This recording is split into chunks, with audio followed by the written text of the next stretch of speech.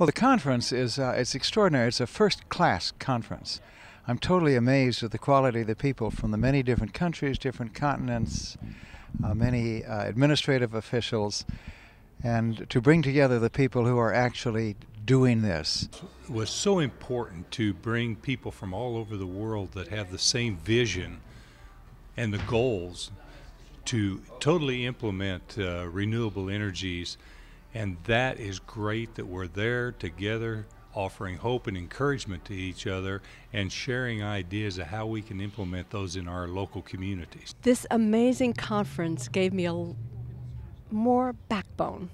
I came away feeling like, ah, it's real what I'm talking about. All of these incredible stories really made me feel more powerful. This has been a tremendous conference. I mean, you brought in some really top-notch speakers from all from around the world, and they presented their ideas in a very uh, important key way. And I think that what we need to focus on now is how do we get these messages that were presented today out to the uh, broader public, and to get the uh, the the population as a whole to understand the importance and the value of moving to a 100% renewable future. It's an outstanding conference, a broad group of folks, and lots of inspiration.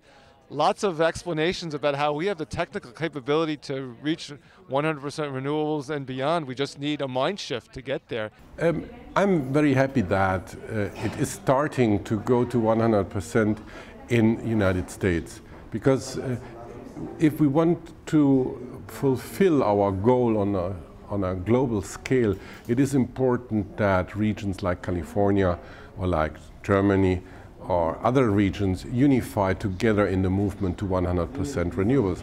It is not possible to do that only in one part of the world. We have to share our experience, we have to move forward. And I have had the experience that on this conference there were a lot of people that are now committed to this 100%.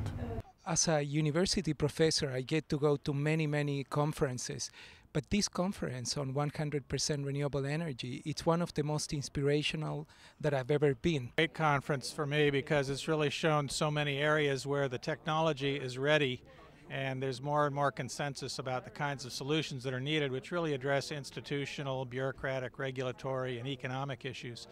And these are issues that uh, really are, are what's standing in the way between where we are now and where we need to be getting towards 100% renewables.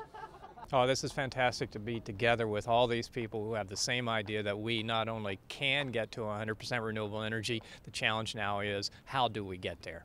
Leaders from America that are speaking at this conference. Uh, probably one of the most exciting things is the uh, participation of the California ISO. When we have the grid operators coming to a realization that renewables are not only good for the grid, but they're good for the economy, that is a real breakthrough and that puts us on the pathway to 100% renewable energy. It is the most inspiring conference that I've ever been to in my life.